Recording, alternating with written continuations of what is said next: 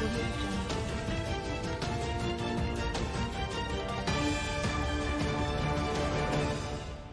विधानसभा चुनावों की हलचल को तेज करने के लिए मुख्यमंत्री जन आशीर्वाद रैली की शुरुआत करने जा रहे हैं, जिसकी शुरुआत 18 अगस्त से कालका से शुरू होगी और 90 की 90 विधानसभाओं में जाकर जनता से वोट रूपी आशीर्वाद लेंगे। इसी संदर्भ में जन आशीर्वाद रथ यात्रा 18 तारीख को यमुनानगर की तीन विधानसभा में पहुँचेगी और आईटीआई के सामने सब्ज़ी मंडी में मुख्यमंत्री एक विशाल जनसभा को संबोधित करेंगे। इस कार्यक्रम में सांसद व भाजपा के कई दिग्गज नेता भी शामिल रहेंगे। यह जानकारी यमुना नगर विधायक घनश्याम दास अरोड़ा ने पत्रकार वार्ता कर दी। पत्रकार वार्ता माननीय मुख्यमंत्री जी 18 अगस्त को कालका से जन आशीर्वाद यात्रा शुरू करने जा रहे हैं।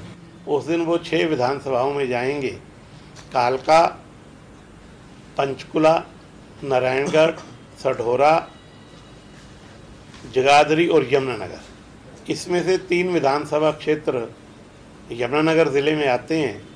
तीन बजे के आसपास पहाड़ीपुर नाके पे हम उस जन आशीर्वाद यात्रा को रिसीव करेंगे और उसके पश्चात तीनों विधानसभाओं में संगठन ने जो योजना बनाई है, वो रथ के माध्यम से लोगों से आशीर्वाद लेने के लिए, अपनी बात बताने के लिए, प्रदेश सरकार की क्या उपलब्धियाँ हैं और आगे हमारा पाँच साल का क्या रोड मैप रहेगा, ये जानकारी देने के लिए जनता के बीच में आ रहे हैं।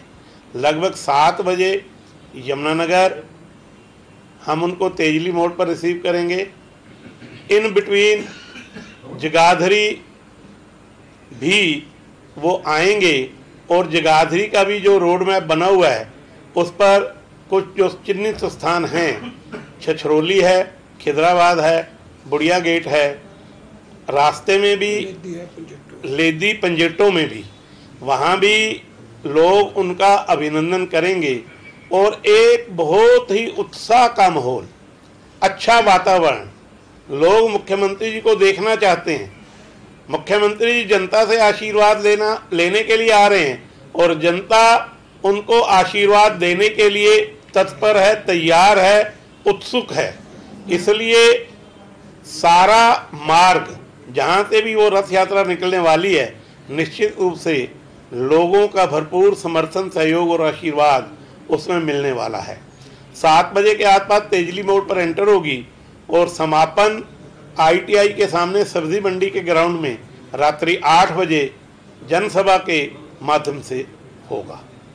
निश्चित रूप से इस लोकसभा क्षेत्र के सांसद इस सारे क्षेत्र में जितने विधायक हैं वो और कुछ प्रदेश के मंत्री इस रथ यात्रा में उनके साथ रहने वाले हैं।